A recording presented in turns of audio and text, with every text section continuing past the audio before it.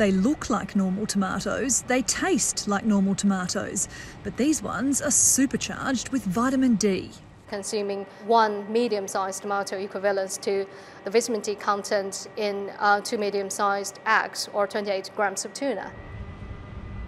Tomato leaves naturally contain a precursor to vitamin D, but a gene inside the plant converts it to cholesterol and other molecules before the fruit is ripe.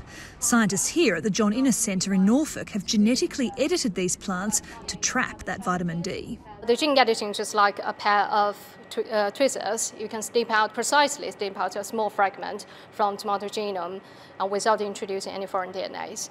So in the vitamin D enriched tomatoes, uh, we turn switch off a particular gene in tomato genome, which converts provitamin D3 to other molecules.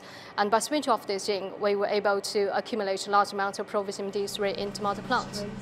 Gene editing is not the same as genetic modification, which does insert DNA from other plants and animals into an organism. That process will remain illegal in the UK, but the British Parliament is debating overturning the EU imposed pre Brexit laws banning precision breeding. The new legislation paves the way for gene editing not just in plants but in animals as well. And scientists think they'll be able to use the technology to do things like improve the drought resistancy of crops, bolster the immunity of livestock, and even eradicate invasive species. But not everyone is happy. Critics of the legislation say not enough research has been done into gene editing, which may not be as harmless as it's being made out to be.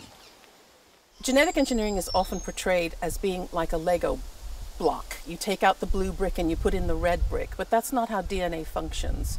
Once you make a single change in DNA, you make multiple changes throughout the organism. So you can end up creating something that has uh, more toxins or maybe a higher potential to cause cancer.